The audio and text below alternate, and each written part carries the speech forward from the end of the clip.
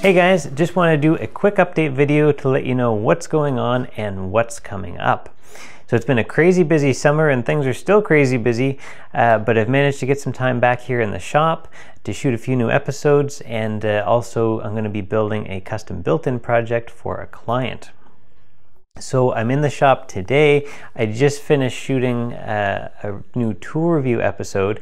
Now I can't tell you yet what that tool is because uh, it hasn't been officially released and I've been sworn to secrecy by the manufacturer.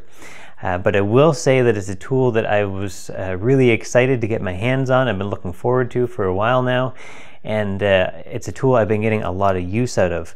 And I think a lot of you guys will be interested in it as well. So make sure you keep an eye out on that. That review will be coming out in the next couple of weeks now I also have a couple uh, jig episodes planned uh, that will be uh, be coming out before too long.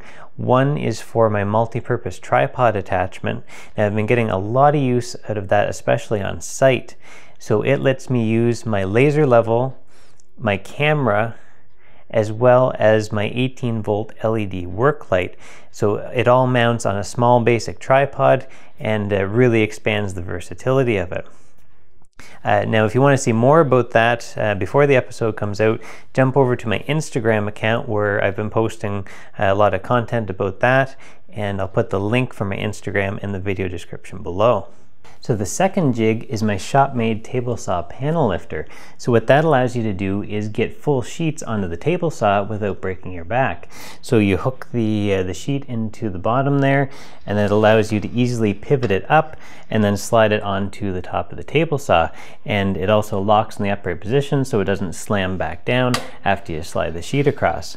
Now I'm also thinking about making a set of plans available uh, for this. So if that's something that you're interested in, let me know in the comments below. Now, I'm not going to be able to keep uh, a new episode coming out every two weeks on a schedule like I used to do.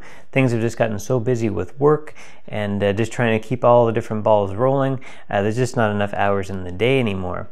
Uh, but I'm definitely going to keep uh, a new episode coming out as often as I possibly can.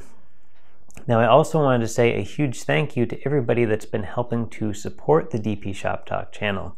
So that's uh, by making purchases through my uh, affiliate links, uh, buying plans from the danpattison.com store, and just watching and sharing the DP Shop Talk videos. It all helps financially and it enables me to take time away from my regular work to make more free content for you guys and keep the bills paid at the same time. So a huge thank you for all the support. I really appreciate it from you guys. So that's it for me for now, guys. Uh, like I say, keep an eye out for that uh, tool review episode uh, coming out in the next couple of weeks. Uh, I know I really enjoyed uh, the the, uh, the tool that I reviewed, and I'm sure that a lot of you guys will find it useful as well. Now, if you haven't already, make sure you hit that subscribe button so that you're notified when new episodes like this come out. So thanks again for watching, guys, and until next time, let's talk shop.